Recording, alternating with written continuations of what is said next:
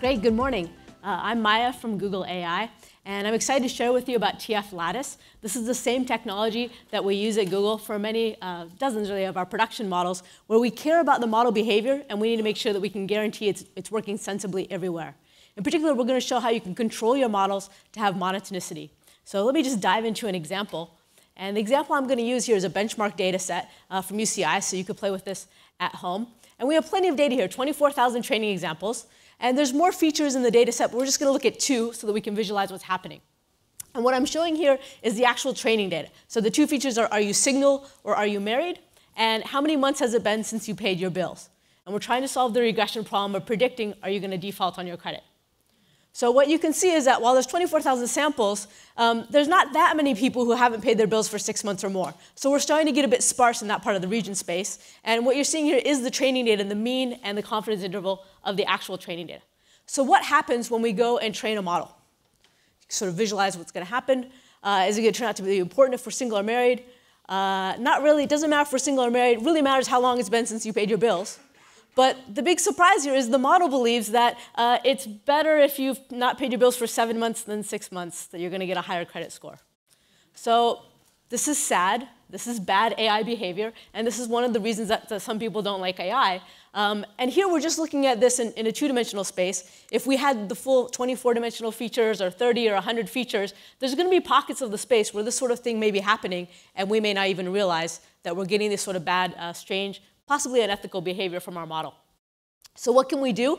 Uh, well, we might say, well, this is sort of overfitting. Let's just regularize. But any of your standard regularization techniques are going to be problematic. It's going to be hard to really fix this without hurting your model accuracy. And it's going to be hard to even check if you really fixed it. So what the TF Lattice package does is it hits this problem exactly, and it lets you have monotonicity as a regularizer you can say when you put together your features, for this feature, it should only hurt my model. It should only hurt my score if I haven't paid my, my bills for a longer time. And so you can see here, this fixes that trend in the, uh, the high number of months. And we get the same flexibility model. We actually get slightly better test accuracy, but we've, uh, we've solved the exact problem that we need to solve. And we now have a guarantee on what the model is doing. And if we had 100 features, it would similarly guarantee that in all those pockets of the 100-dimensional space, this was working correctly. So how does TF Lattice uh, package do it? Well, under the hood, the kind of function class it's using are uh, lattices, and these are just interpolated lookup tables. This is possibly the oldest way humanity has for representing functions, right? You've seen these in the back of your math textbooks. You can find them in, in uh, tables from, from actuary in, in 1960s, et cetera. So in a one-dimensional space, these are simply piecewise linear functions. But uh, with the TF lattice package, you can represent high-dimensional uh, functions also with these multidimensional lattices, these multidimensional lookup tables. Here's an example with just two features. We're building a function with 10 lookup table parameter values there. And the lookup table parameter values are trained using empirical risk minimization. It's all the same uh, training that you would see with DNNs. It's just the parameters now represent what's happening with our function. And so it's much easier to control for monotonicity because there's a lot of structure to the function space here. And with the TF Lattice package, you can kind of check and choose how much flexibility you want.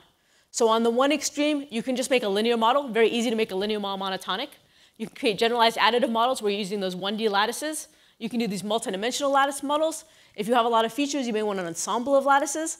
And we've set this up with layers, so you can mix and match and plug and play with other TF layers and create sort of cascaded deep lattice networks.